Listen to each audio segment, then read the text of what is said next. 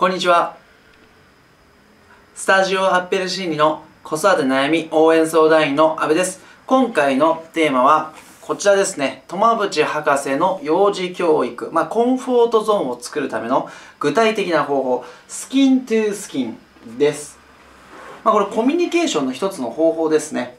あの、親の体温、心臓の鼓動、呼吸を感じることっていうのは、子供にとってすごく安心感を与えます。まあ、またよくベーシックトラストっていうこのキーワード出てきて、最近出てきてますが、本当にあの、親がですね、子供に絶対的な安心感、信頼感を与えるんですね。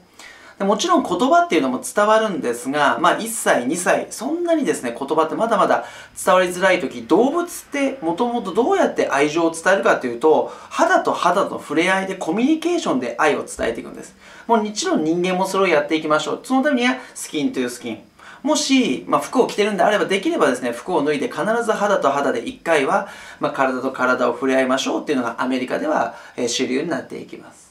まあ、猿だとこう毛づくろいになったりですとか、まあ、魚だと口の中に入れてしまったりとか、赤ちゃんを、えー、口の中に入れたりとかってあるんですが、やっぱり人間だと抱っこ。になると思います。まあ、直接ね、あの、毛づくろいとかするわけにいかないですから、ですがこのスキントゥースキンっていうのをちょっと普段服を着てるところを、まあ、お風呂上がりとか何でもいいと思うんで、一回あの肌と肌がね、触れ合う状態でやっていただくといいと思います。いよいよ明日、ママサロンボリューム2です。マイ本の読み聞かせね、しっかり私も練習したりとか、えー、資料準備しています。明日参加される方、ぜひ楽しみにしててください。本日の子育てのヒントでした。ありがとうございました。